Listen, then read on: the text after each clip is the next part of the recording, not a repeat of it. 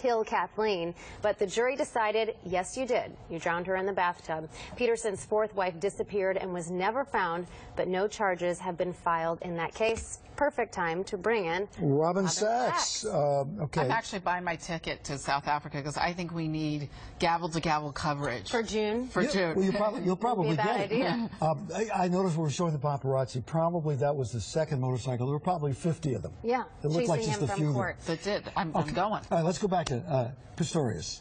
Got the bail. Were you surprised? I was surprised that he got the bail. I mean, there's definitely differences within the South African criminal justice system and the criminal justice system here, but not as many differences as you would think.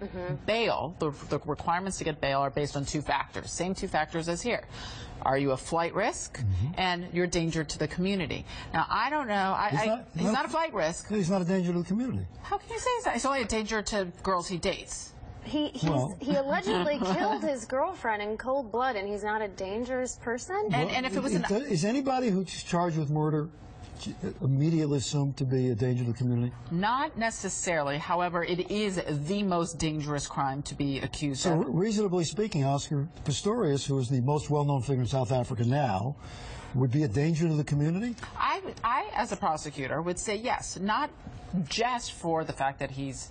There's no issue that he shot the gun. That's one thing. So mm-hmm. first of all, it's not like a who done it. He did it. The question is whether it was self-defense or not. Okay. So you know that he shot the gun. You know that he had an incident in January where there was a gun on the table in a restaurant and he had somebody else take the blame for owning that gun. Uh-huh. And then you know that he was accused of domestic violence in the past. Now, Robin Sax has a little inside thinking on why this happened.